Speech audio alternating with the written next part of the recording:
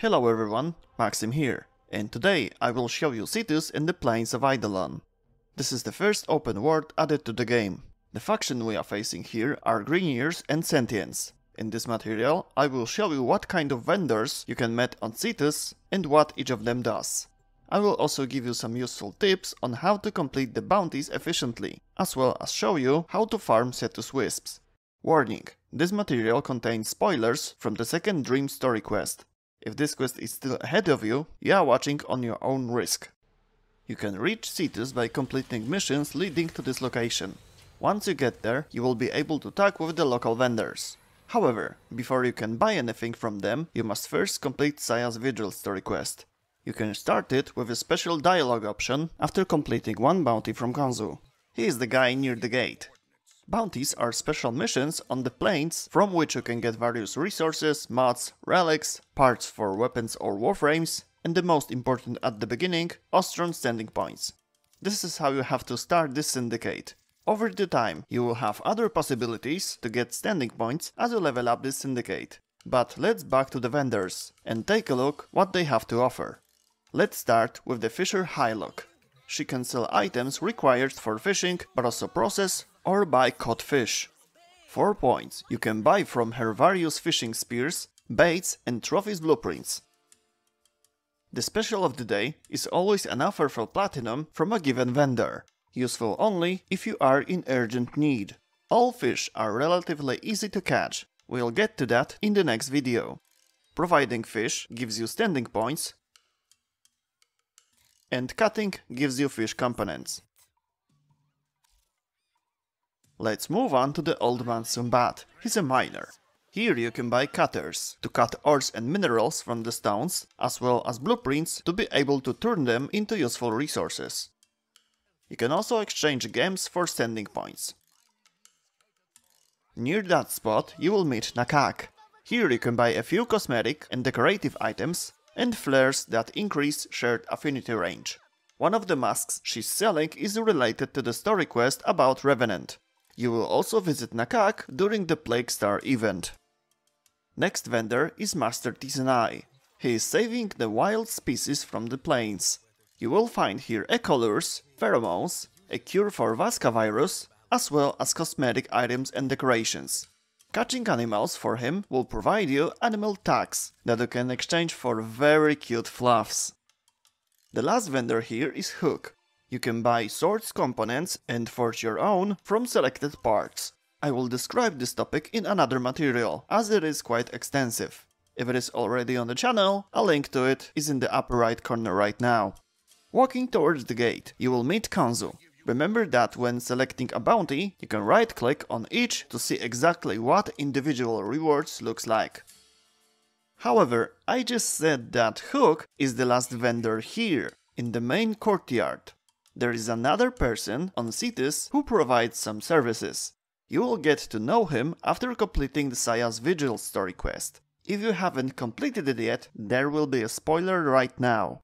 To find that person, you have to pass Konzu, turn right, go more or less straight ahead. You come across a gate that doesn't open. To get through it, you have to press 5 to get into the operator form. You will see a cave, and Onkko will be waiting inside, a representative of the second syndicate on Cetus, the Quills.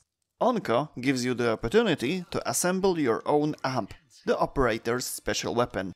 This topic also deserves a separate material, as well as the operators themselves, just like the Eidolons, which cores you will need here to exchange them for standing points. Thanks to this, you will be able to buy components for another amps, arcanes or cosmetic items.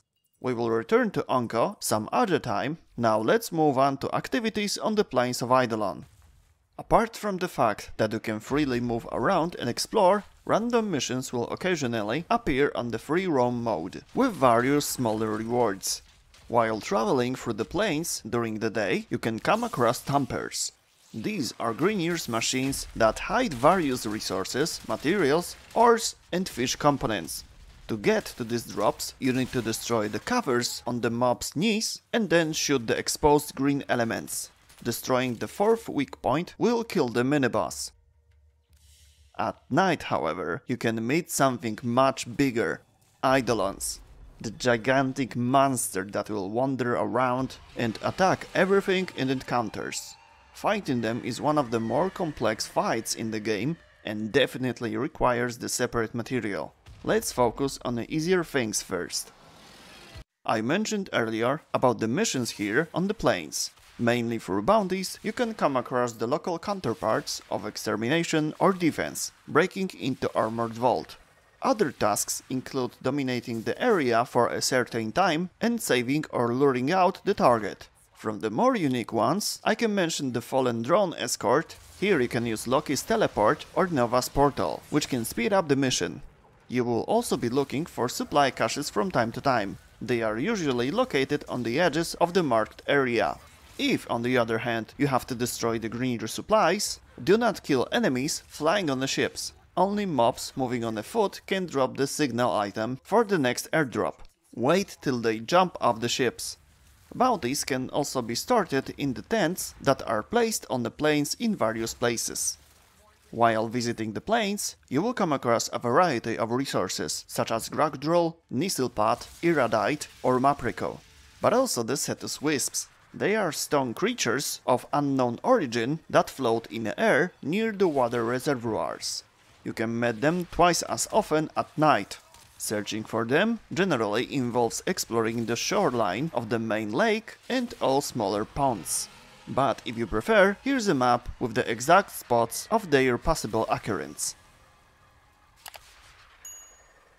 If you want to farm them, fly with Archwing or go on foot to all selected points on the map and then reset the map by returning to the gate for a moment. It's best to do this at night. Wisps are affected by the resource booster and the charm, they are also marked as a resource on the minimap, so loot detection will help to find them. Each open world offers three types of activities in addition to bounties and bosses mining, fishing, and conservation of the animals.